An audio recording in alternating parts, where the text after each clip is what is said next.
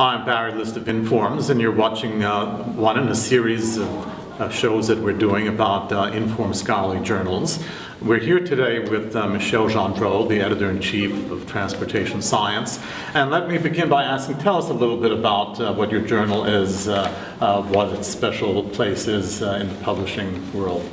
Well, transportation science focuses, well, not surprisingly, on transportations, transportation, transportation of uh, people, transportation of goods, also logistics. In fact, this is uh, the Journal of the Transportation, Sci- uh, Transportation and Logistics uh, Society.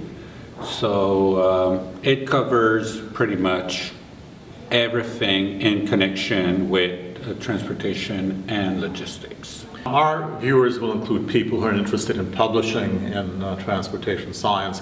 What's your philosophy? How do you look at uh, the way that you edit your journal? Well, transportation science is, uh, I think, uh, obviously the transportation part is obvious. What is maybe less obvious is the science part. What do we see as being science? Well, we are interested in papers that uh, advance the state of knowledge with respect to methodology for planning and managing transportation. So we want to, uh, to look at papers that will propose maybe models for planning transportation, uh, algorithms for managing or operating transportation systems, and uh, and I would say maybe studies about uh, things like uh, transportation demand and related topics. Uh, however, maybe one thing which is important is that uh, the methodological side of things is really important. We like to see papers where there's a, a clear methodological contribution. If people just want to apply uh, known methods or to or make, I would say, um, descriptive studies, transportation science is not the good journal. And uh, as you look back on the many papers that you've published, are there, is there one paper that stands out that you're especially proud of, or a group of papers or an area that uh, uh, you look back on and you smile? Uh, upon my own papers? Uh, the ones you've accepted, we can talk about your papers as well.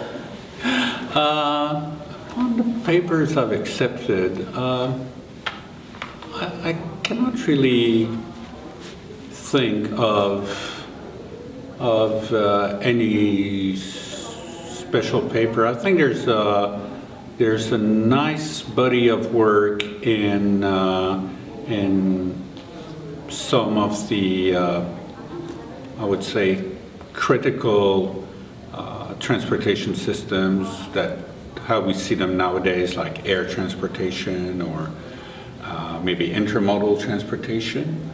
But uh, quite frankly, I, I, don't have really a paper that I would say, oh yes, this is the paper over the last five years that I'm really proud of. Or uh, let me ask you this, are you seeing any trends in the kinds of uh, papers that you're publishing? Well, there's a definite trend uh, on papers dealing with uh, air transportation, and I would say the organization of air transportation, airspace management, airport management, and in fact yesterday uh, the paper that won a Best Paper Award from the Transportation Science and Logistics section, uh, society, uh, was one uh, that dealt with those issues.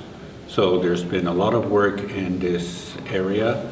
Uh, a lot of work also in developing what uh, some people call integrated models for uh, the operations of airlines. So combining, for example, crew scheduling with uh, maybe airline schedule, air, not airline, but um, aircraft scheduling, and um, and and and those type of papers.